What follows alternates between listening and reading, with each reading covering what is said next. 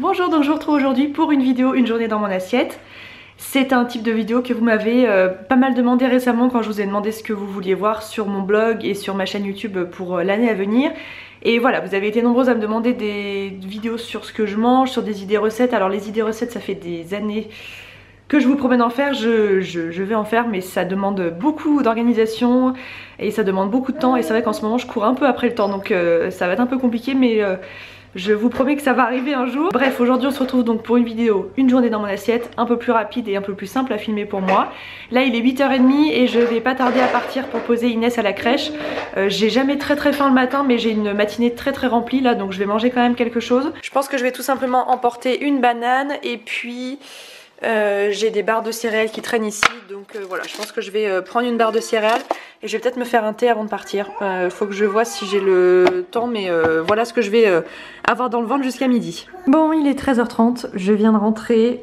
comme je l'avais imaginé, j'ai eu une matinée très très très speed et j'ai pas encore mangé. Donc je vais faire réchauffer quelque chose que je n'ai pas cuisiné. On a commandé indien hier soir, c'est donc du riz basmati avec du butter chicken. Donc c'est une recette euh, indienne et euh, on en commande toujours pour deux parts pour Quentin et moi. Mais c'est très très très très très bien servi. Et euh, en fait on arrive toujours à faire trois parts. Il en reste souvent une pour le lendemain. Quand je suis au travail du coup c'est ce que je mange. Et là je suis en repos. Donc je vais le manger aujourd'hui. Donc je vais faire réchauffer ça. Et en dessert je pense un yaourt nature et un yaourt à la fraise. Et puis de l'eau bien sûr.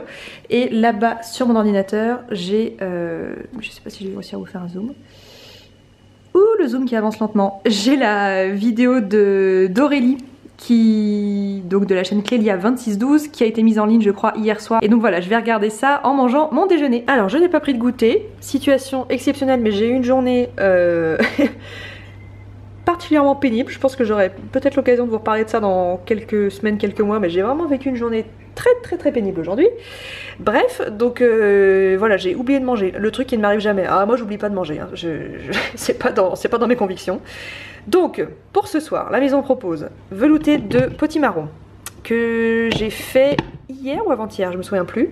Non, je l'ai fait hier, qui est tout simple. Je fais revenir des oignons dans un petit peu de beurre, après j'ajoute le potimarron, je couvre euh, à niveau avec de l'eau, je mets un petit cube de bouillon, euh, qu'est-ce que je mets? Je mets ça là j'en mets une moitié. Et ensuite deux ou trois cuillères à soupe de crème fraîche histoire que ça ait une petite consistance. Et voilà, c'est délicieux, c'est vraiment un, truc parfait pour l'hiver.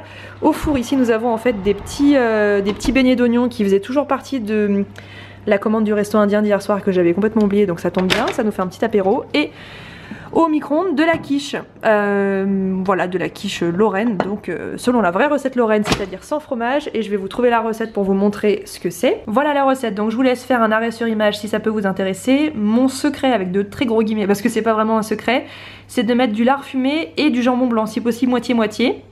Le jambon ajoute euh, bah, de la consistance à la quiche et pour autant c'est moins salé et moins gras que du lard. voilà pour le reste des ingrédients c'est assez basique. Alors pâte brisée en fait non je mets plutôt une pâte feuilletée.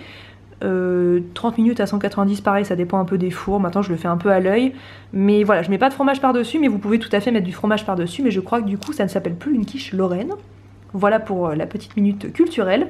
Et pour le dessert, euh, aucune idée. Je sais absolument pas ce qu'on va manger. Bon voilà, avec ma tête complètement déconfite pour finir cette vidéo. Je sais absolument pas ce qu'on va manger comme dessert, mais là je crois que j'ai besoin d'un petit remontant, donc probablement un peu de chocolat ou quelque chose dans ce style là voilà j'espère que cette vidéo vous a plu. Je pense que j'en referai à l'avenir enfin surtout si ça vous a plu parce que euh, c'est quand même l'intérêt de ce type de vidéo. Et je vous dis à très bientôt